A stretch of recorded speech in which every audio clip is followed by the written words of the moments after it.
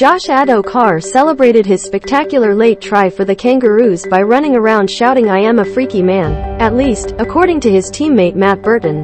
The Bulldogs pair combined for one of the scores of the tournament, with Burton rescuing a crossfield kick by Ben Hunt with an airborne, through the legs pass to Addo-Carr, who kicked forwards, raced around the defenders and touched down with millimeters to spare. The Foxx was pleased with his work, said Burton, and celebrated in typically understated fashion. Facebook, Twitter, WhatsApp, Reddit, email share. He was yelling at the crowd, I am a freaky man, I am a freaky man, laughed Burton after the game. I didn't really have to do much and I didn't really know where it was going. I just flicked it under and hoped for the best. Then he finished it off so it's all him and he gets all the credit there. You can't beat speed, he's too fast. He was outstanding tonight with four tries and he deserved them all. Burton might have been there for the aftermath, but he didn't even see the score itself until afterwards. When he did catch the clip, he noticed the similarity to Greg Inglis' try, or at least, the pass from Greg Inglis for Mark Gasnier.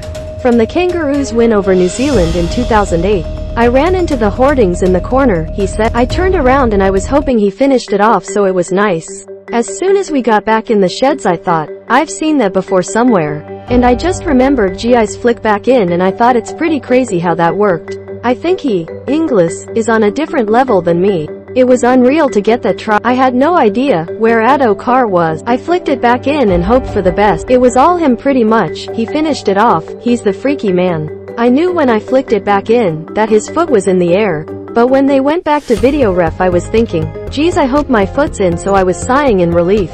Nathan Cleary back Burton's assessment of Addo-Carr's celebration uh, It was pretty cool, he's a freaky man, said the halfback. I saw Foxy get up and he was high-fiving the crowd and saying how good he was.